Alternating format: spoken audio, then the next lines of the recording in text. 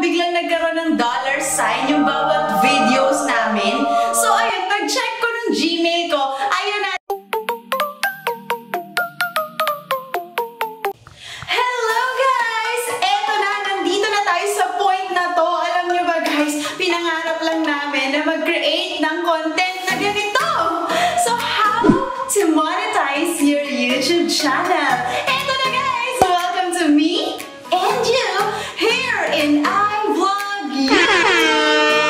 So ayun na nga guys, after ng 21 videos, eto na nga na-monetize na namin ang aming YouTube channel na iVlog You. Kaya naman maraming maraming salamat po sa inyo sa panonood sa pag-subscribe niyo po sa amin. Pero eto na guys, isi-share ko sa inyo ang naging experience namin at kung gaano pala kabilis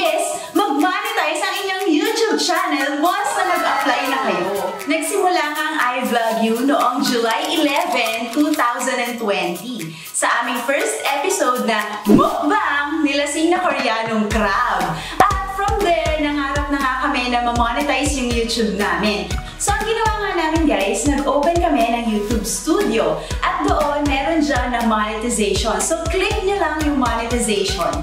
At makikita nyo dyan yung requirement natin. For 2020, ang kailangan po natin ay 1,000 subscribers at 4,000 watch hours within 12 months. Tama, isang taon lang guys. And guys, bibigyan ko kayo ng tip. Alam nyo, para mahalin din kayo ni YouTube, dapat po ay madalas ang ating pag-upload at consistent tayo. At dapat consistent din tayo sa ating mga thumbnails. At napanood din namin yan sa mga YouTube videos na mga nagsisimula pa lang na vlogger at saka mga small YouTubers. And eto na nga kami ay gumagawa na nga ng videos na katulad nito para ma-share namin sa inyo para alam niyo na rin ang gagawin once na mag-decide kayo na i-monetize na ang inyong YouTube channel.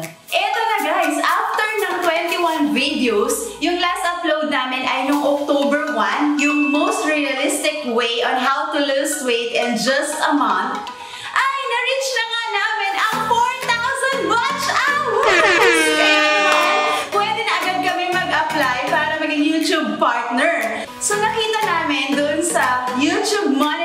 Monetization na naka-enable na yung button na apply now. At ito, i-share ko sa inyo yung real time na nangyari dahil in-screen record namin yan at nag-record din ako ng voice habang ginagawa ko yung pag-apply. Panoorin nyo guys para alam nyo na rin yung gagawin nyo kapag nag-decide na kayo mag-monetize na inyong YouTube channel. Hello guys! Eto na yata yung pinaka nakakakilig na screen ngayong 2020. Ayan guys, kung makikita nyo, ay na-complete na natin ang lahat ng requirements para maging YouTube partner na tayo ng YouTube. So, meron na tayong 1.5 subscribers, tapos meron na tayong 4,180 public watch hours! And that's because nandyan kayo at nakasuporta kayo sa amin dito sa iVlog You. And this is it, guys! mag apply na tayo ngayon for monetization! Nakakilig!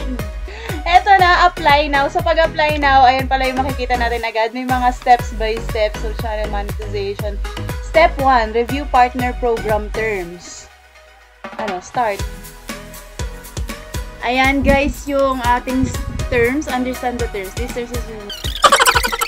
Eto na guys! E- email me updates and also personal.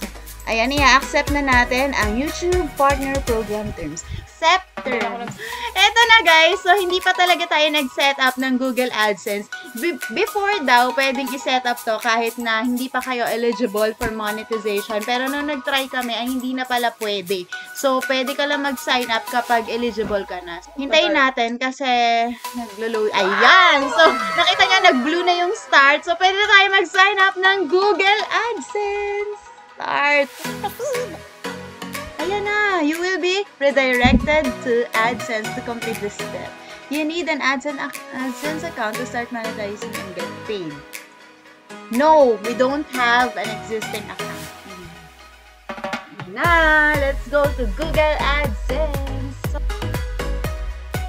So yes, send me customized help and performance suggestions. Select your country. Ayan, Philippines. Eto na, mahaba-haba guys, pero tiyagain natin kasi, syempre, hindi natin alam. Yes, Yes. I have read. I have read pala.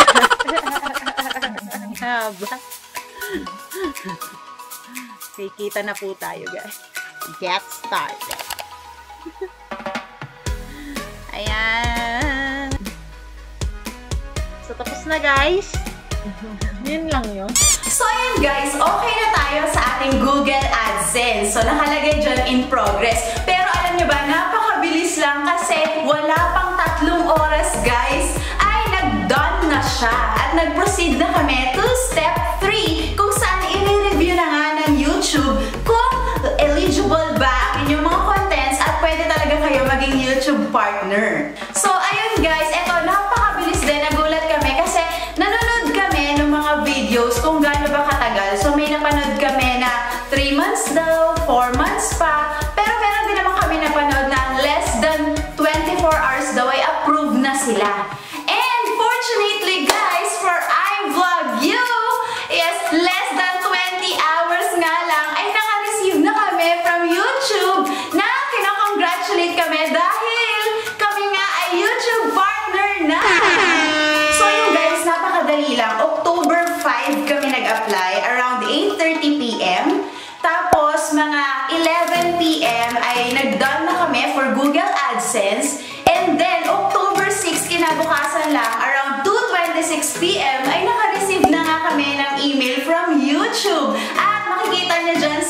monetization nyo, meron na dyan nakalagay na copyright. Tapos sa monetization, may mga added features na rin. So, nakakakilig talaga guys. Kasi actually, ganito pa yung nangyari sa amin. Mas una pa namin nakita na parang biglang nagkaroon ng dollar sign yung bawat videos namin.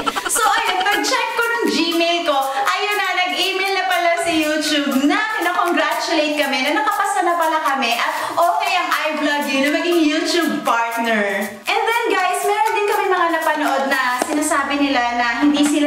Nakapasa at para mag-reapply ulit ay kailangan isang buwan. So, hindi ko alam kung bakit hindi sila nakapasa. Pero with iVlog, yun nakapasa naman tayo.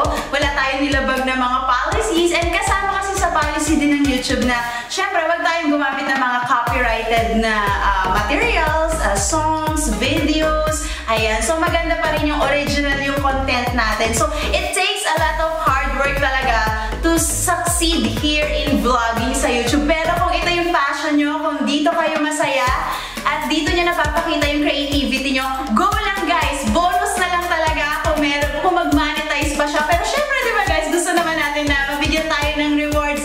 ginagawa natin. So, pinapapasalamat talaga namin kay Lord na eto na, na-achieve na ng iVlogger yung